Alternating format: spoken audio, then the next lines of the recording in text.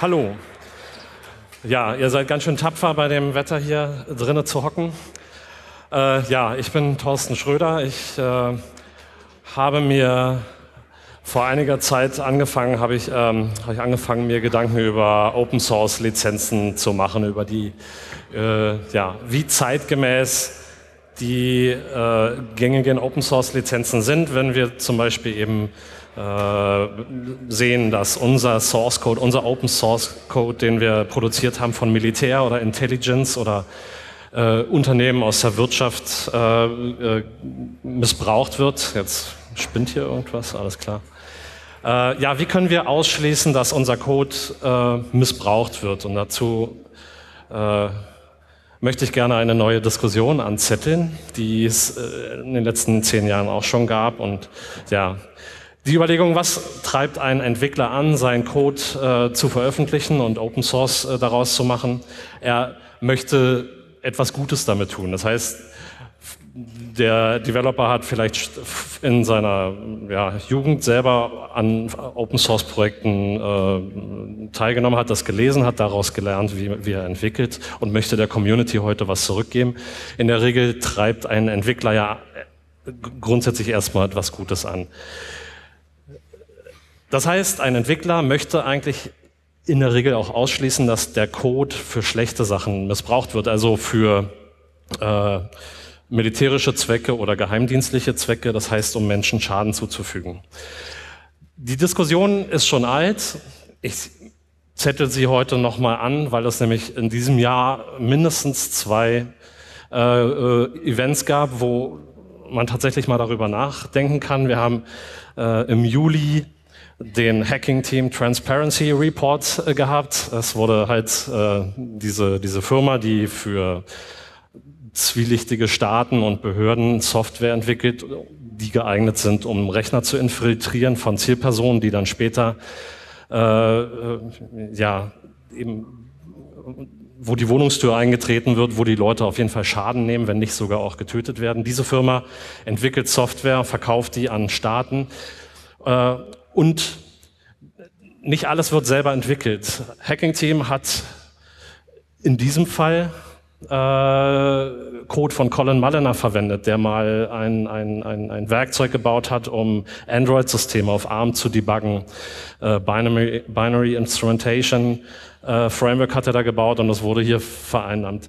Äh, nachdem nachdem diese ganzen Daten veröffentlicht wurden und der Source Code von Hacking Teams Trojaner im GitHub landete, haben halt die Leute angefangen, so wie man das als Ego-Googeln kennt, hier in Hacking-Team-Daten zu Ego-Grappen und halt zu schauen, ob die eigenen Namen auftauchen, der eigene Code dort auftaucht.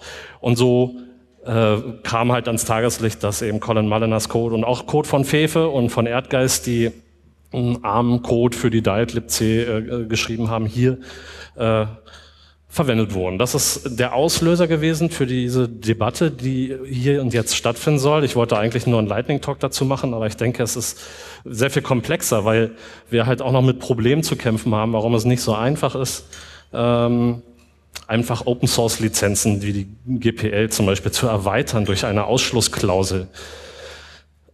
Anfang des Jahres habe ich damit angefangen, äh, mich damit auseinanderzusetzen, als ich gesehen habe, dass die DARPA eine Meldung publiziert hat, äh, wo sie den Tod von oben bewerben, und zwar unter Verwendung von Android-Tablets die hier genutzt werden, um äh, eine Persistent Close Air Support bereitzustellen. Das heißt, die Luftwaffe, die sowohl bemannt als auch unbemannt oben die ganze Zeit unterwegs ist, die können dann von den Leuten im Feld, von den Soldaten im Feld per Android-Tablet zu einer mobilen Einheit am Boden gelenkt werden, um diese dann zu töten. Und hierbei wird auch der Waffe selber ganz autonom äh, die Entscheidung überlassen, welche Waffe zum Töten verwendet wird.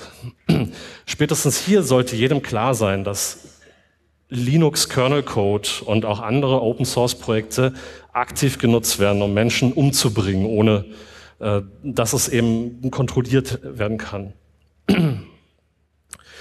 äh, ich habe diesen Event zum Anlass genommen, mich mal eine, eine Klausel zu verfassen, die ich an, an meine Lieblingslizenz dranhängen kann. Ich habe viel äh, mit der BSD-Lizenz äh, gemacht und dachte mir, ich fange einfach mal an, eine Ausschlussklausel zu verfassen, die militärische äh, Zwecke ausschließt und das könnte man dann an andere Lizenzen anhängen.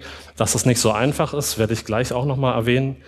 Ähm, aber die Diskussion muss nochmal neu geführt werden. Die ist schon alt, seit zehn Jahren wird das durchdiskutiert. Es gibt im äh, Free Software Magazine ein Artikel von 2012, der sich auch mit der Thematik befasst, zwar zu einem anderen Fazit kommt als ich hier, ähm, aber es gibt in diesem äh, Artikel auf jeden Fall eine äh, sehr imposante Liste mit Open Source Projekten, die für äh, ganz explizit vom Militär genutzt werden. Da, sind sehr generische Sachen dabei, wie GCC, irgendwelche Linux-Kernel, GNOME und so weiter.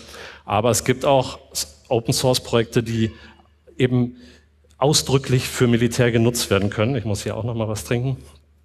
Ähm und da sind natürlich ganz besonders Softwareprojekte, die sich mit Kartendaten, Koordinaten und so weiter auseinandersetzen und äh, Simulation und so weiter.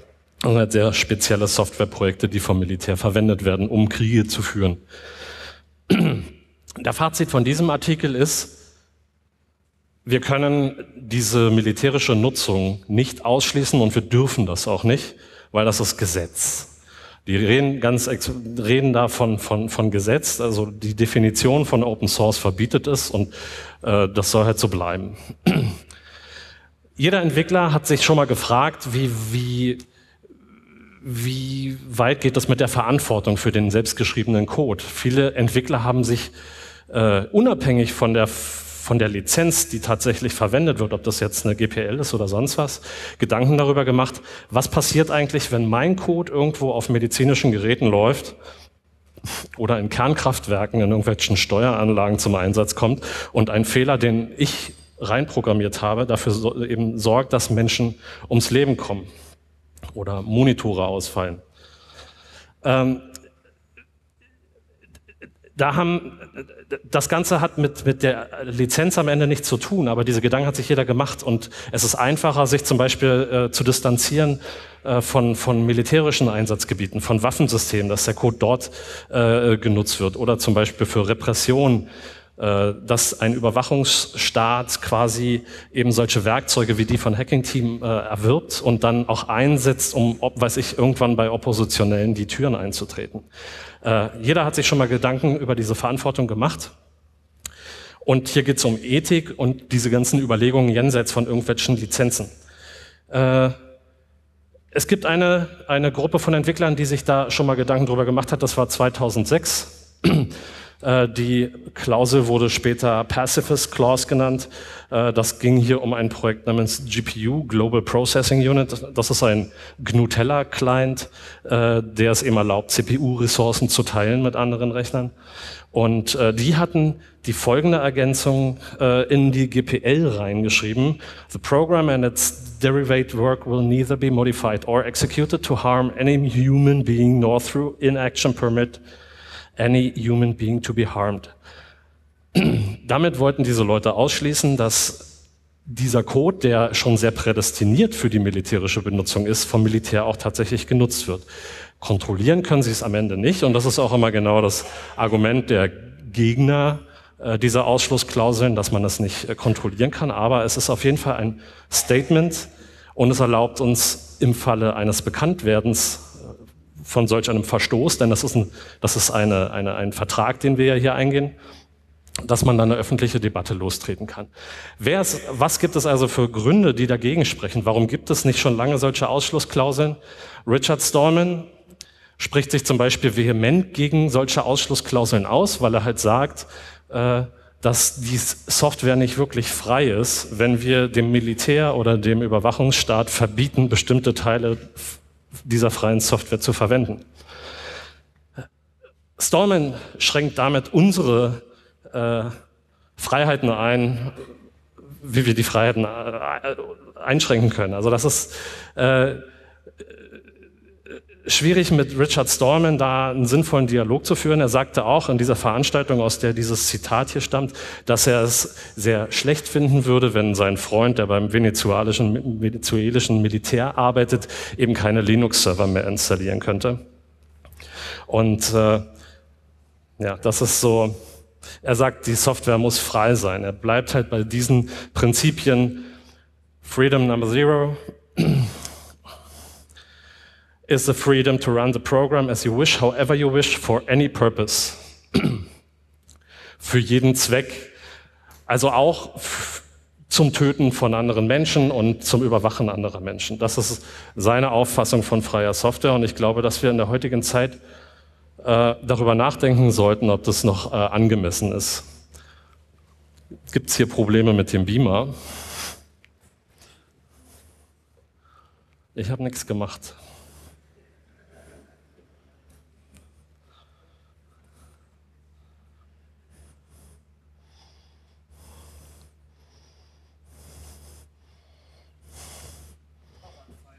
Ersatzteile. Ich sehe jetzt hier auch gar nichts mehr auf dem Screen.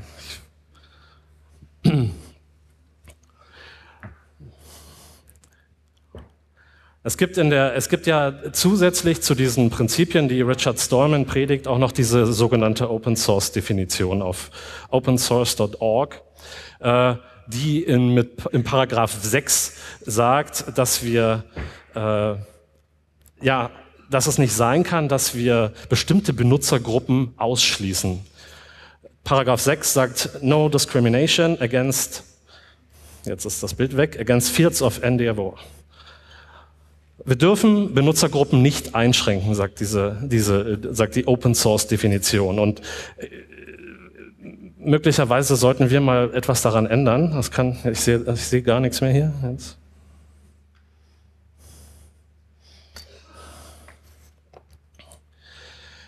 Die Gegner von solchen Ausschlussklauseln sagen, wie ich schon sagte, dass das Gesetz ist. Wir können daran nichts ändern. Das muss so bleiben. Die Software muss frei bleiben. Ich denke aber, in 2015 sind wir sehr wohl in der Lage, auch mal unsere Grundsätze zu überdenken und zu überarbeiten. Wenn Staaten ihre Verfassung, ihr Grundgesetz ändern können, dann können wir auch Open Source Definitionen ändern. Das ist nicht in Stein gemeißelt und es ist mittlerweile notwendig, dass wir auch über Ausschlussklauseln nachdenken, äh, damit wir sicherstellen können oder zumindest versuchen können, ähm, den Leuten, die auf unseren Code angewiesen sind, das Leben nicht gerade leicht zu machen. Sie müssen darüber nachdenken, ob es sich lohnt, äh, das Risiko einzugehen, das Risiko äh, von Strafen auf sich zu nehmen. Das heißt, das können natürlich, da komme ich nachher noch zu, Geldbeträge sein oder andere Geschichten, aber in jedem Fall ist es notwendig, dass wir in der Lage sind, unsere Projekte mit Attributen zu versehen, die äh, bestimmte äh, ja, äh, Nutzung ausschließen. Wir müssen also diesen Dogmatismus überwinden, den Richard Stallman da an den Tag legt und müssen fortschrittliche Lizenzen definieren.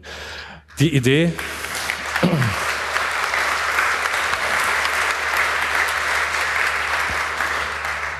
Die Idee, die ich Anfang des Jahres hatte, als diese DARPA-Meldung die Runde machte, habe ich dann mal, äh, wie ich schon sagte, in Form einer BSD-Lizenzklausel, einer Erweiterung dafür verfasst und habe mir halt gedacht, naja, da war ich noch ein bisschen naiv, da wusste ich halt nicht, dass es auch sehr, so viel Gegenwind aus dieser ganzen Open-Source-Community gibt. Und da habe ich halt diesen Text aufgeschrieben, dass eben uh, redistribution and use in source and binary form for military use and military research is not permitted. Infringements of these clauses may result in publishing the source code of the utilizing applications and libraries to the public. As this software is developed, tested and reviewed by international volunteers, this clause shall not be refused due to the matter of national security concerns womit ich einfach nur ausschließen möchte, dass sich am Ende ein Richter hinsetzt und sagt, du, lieber Developer, bist hier viel zu unwichtig, es geht um die nationale Sicherheit und deswegen ist uns deine Bedingung, dein Vertrag scheißegal, äh, auch wenn du der Urheber dieses äh, Projektes bist.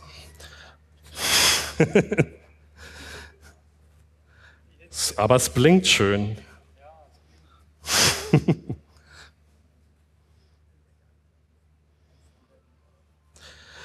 Aber wie ich schon sagte, es gibt da sehr viele Einschränkungen. Die GPL zum Beispiel schließt es explizit aus, dass man etwas ausschließt.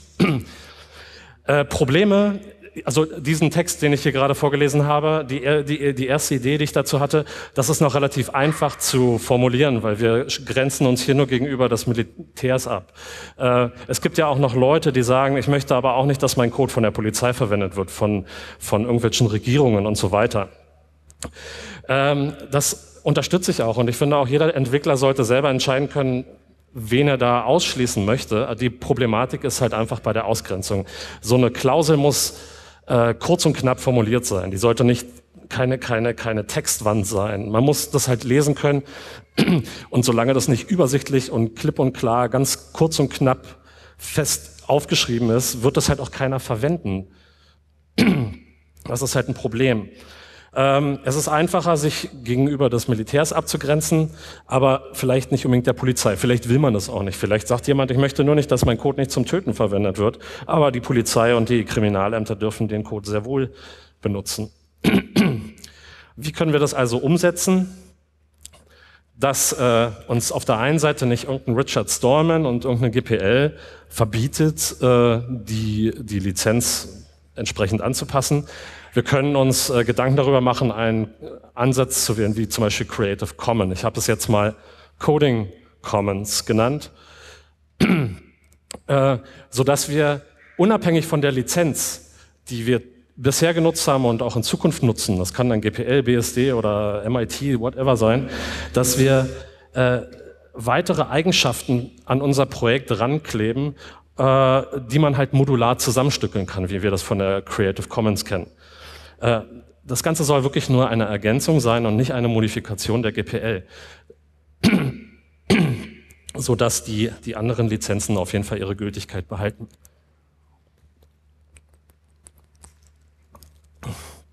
Sowas könnte man dann in der Form aufschreiben äh, und einfach mit an die, an die Lizenz äh, oder an das README, was auch immer ranhängen, dass man zum Beispiel einfach sagt, wir haben hier mal die Haupt, Hauptattribute Non-Military oder Non-Intelligence oder zum Beispiel auch Consens Required. Dass, dass zum Beispiel ein Entwickler sagt, wenn ich Code schreibe, möchte ich auf jeden Fall sicherstellen, dass der, die Hardware des Users, wo dieser Code am Ende läuft, dass dieser User damit einverstanden ist, dass dieser Code dort auch läuft. Das kann, damit, damit kann man natürlich prima so eine, so eine Sachen wie Troja, Staatstrojaner und so weiter ausschließen, dass es also in dem Feld verwendet wird, aber zum Beispiel auch äh, im Bereich Embedded äh, Devices, Internet of Things, äh, haben, da haben ja die User auch häufig gar nicht die Möglichkeit zu kontrollieren, was zum Beispiel nach Hause geschickt wird. Äh, die haben gar keine Möglichkeit, das zu überwachen oder zu konfigurieren. Und das könnte halt auch mit in diese Kategorie fallen, dass zum Beispiel ein Benutzer eigentlich nicht wünscht, dass äh, die Webcam-Bilder einmal komplett ins Internet gestreamt werden ohne Erlaubnis. Für alles Weitere, eben diese, diese, diese Abwägung, die ein Entwickler vielleicht schon mal getroffen hat, ich möchte nicht, dass mein Code in Automotive zum Einsatz kommt oder im Flugbereich oder Kernkraft oder so, könnte man eben äh, noch weitere solcher Klauseln verfassen. Aber äh, in dem Fall ist es einfach sehr schwierig, kurze, prägnante Klauseln zu finden, die zum Beispiel auch ganz genau beschreiben, welchen Teil von Automotive meine ich jetzt eigentlich. Es kann ja durchaus sein, dass ich einen Audiocodec entwickelt habe und äh, der wird dann irgendwann in Autos zum Einsatz kommen und äh, wenn der jetzt einen Bug hat, dann könnte ich genauso gut auf diesem Wege das Auto kompromittieren. In jedem Fall brauchen wir, wenn wir so einen Vertrag definieren, also so einen Nutzungsvertrag definieren, auch Konsequenzen, die einer ziehen muss, wenn er gegen unsere Bedingungen verstößt. Diese Konsequenzen könnten eben, also man muss natürlich, man muss das natürlich herausfinden, dass jemand gegen den Vertrag versto äh, verstoßen hat. Äh, dann muss man, dann kann man das Ganze zur Anzeige bringen und so weiter. Es ist schwierig, das herauszufinden, aber wie wir bei Hacking Team zum Beispiel gesehen haben, es ist durchaus so, dass irgendwann diese Wahrheit auch ans Tageslicht kommt und dann kann man halt, hat man auch etwas in der Hand, um dann eine Klage anzustrengen. Und äh, wie ich schon sagte, die erste Idee ist, man kann dann denjenigen zwingen, den Code zu veröffentlichen, was ja in der Regel eben vorher schon passiert ist oder oft. Äh, oder man beschreibt halt gleich eine Vertragsstrafe. Äh, was dann so den, ja, so eine Art Straflizenzgebühr in, in Höhe von meinetwegen einer Million äh, erreichen kann, um, um, um den Leuten das unattraktiv zu machen, gegen unseren Vertrag zu verstoßen. In jedem Fall, und deswegen denke ich nicht, dass es äh, unrealistisch ist, solche Ausschlussklauseln mal zu definieren und auch zu benutzen.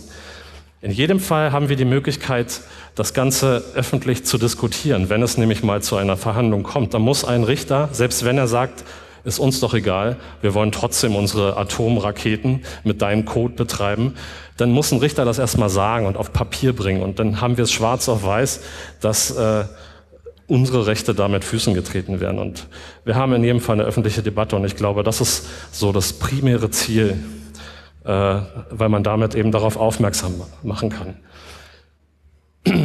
Ja, also ich denke, wir sollten mal darüber nachdenken, was wir für Möglichkeiten haben, wie wir etwas wie diese Coding Commons äh, wirklich hand, also definieren können. Dazu müssen wir Juristen und Entwickler sich mal an einen Tisch setzen oder an eine Mailingliste oder was auch immer, um das mal fest zu, aufzuschreiben und dann vielleicht auch zum äh, Kongress am Ende des Jahres mal eine wirklich feste Lizenzform präsentieren zu können, die dann von Entwicklern auch genutzt werden kann. Was ist möglich juristisch? Was macht Sinn? Was macht weniger Sinn? Äh, in jedem Fall denke ich, sollte jeder mal darüber nachdenken, ob man nicht irgendwie äh, eine Ausschlussklausel gebrauchen kann. Vor allen Dingen auch im Security-Bereich, wenn man äh, Proof of Concept Exploits veröffentlicht, weil man halt eine Schwachstelle gefunden hat und so weiter, dann macht es genau da auch Sinn, so eine Klausel mit reinzunehmen, die halt ausschließt, dass Intelligence oder Regierungen diesen Exploit-Code nutzen, dann haben wir zumindest mal ausgeschlossen, dass das auch so eins zu eins kopiert wird und äh, dann in irgendwelche Staatstrojaner einfließt. Ja, wer sich an dieser äh, Idee und der Diskussion beteiligen will, mail, schreibt mir bitte eine Mail. Ähm, es gibt wie gesagt, jetzt keine fertige Lizenz. Das ist einfach, ich will das zur Diskussion stellen und hoffe, dass wir zum Ende des Jahres da einen ganzen Schritt weiter sind. Vielen Dank.